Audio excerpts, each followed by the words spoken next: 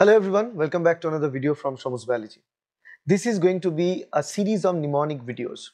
I, I would recommend all of you to watch all the series of recorded these mnemonic videos because this is going to be very helpful for your revision of very important topics, particularly for information that you need to remember for long duration. You can do that with the help of these lectures.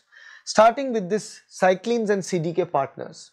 Many students reported me and asked me question regarding this how to remember the cyclins and CDK partners and in which steps of the cell cycle this cyclin and CDK partners are interacting and they play important role.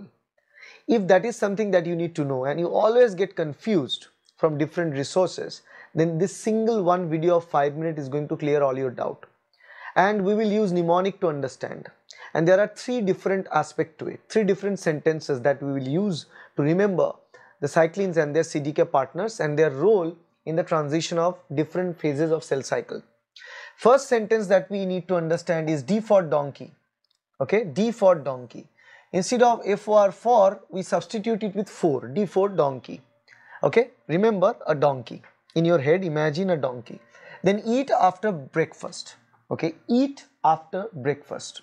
So, you're talking about a pill, that's a capsule that you need to eat after the breakfast. So, this is a breakfast and a pill that you need to take after the breakfast. Remember that a donkey, a breakfast and 221B Baker Street that is the address of famous detective Sherlock Holmes.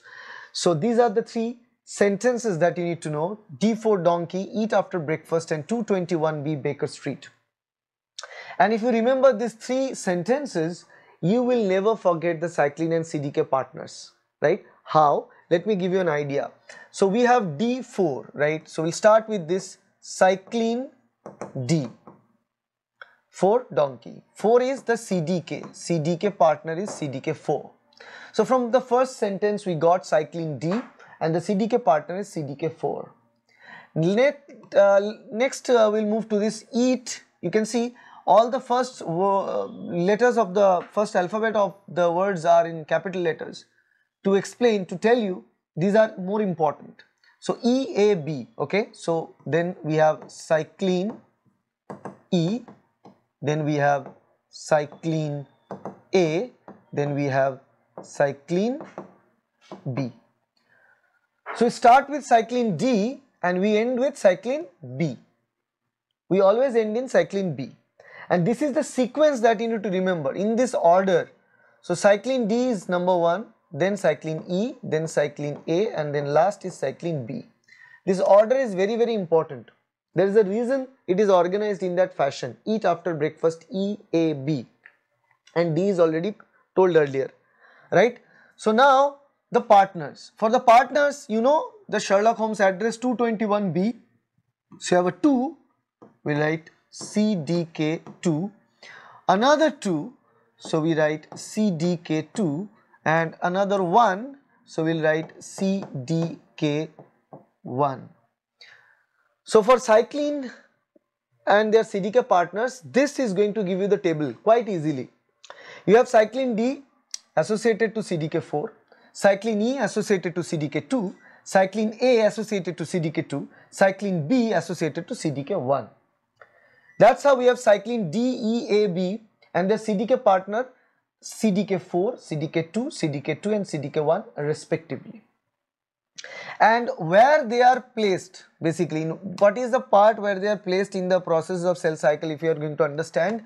Then remember CDK4 this is G1 cyclin, G1 S phase cyclin, cyclin E is S phase cyclin, cyclin A is S G2 phase cyclin and cyclin B is the M phase cyclin again the sequence sequence of the cell cycle progression. If you know cell cycle progression is from g1 to S to G2 to M. These are the phases of cell cycle. You just put it G1, S, G2, M. And you are going to get the cyclin and CDK partners from these three sentences. D4 donkey, eat after breakfast and 221B Baker Street. That's it. That's how easy it is to understand and recall the name of all the cyclins and CDK partners. And also it is how easy it is to uh, understand the different phases of cell cycle where they work. I believe this video helps you out understanding uh, the list, uh, understanding uh, this concept and remembering and revising the topic very fast just before the exam. These videos are going to be lifesaver just right before the exam. Revise with the help of this video and series of videos. Watch them in this channel and if you like the video please hit the like button share this video with your friends and colleagues subscribe to this channel to get more videos like that in future thank you bye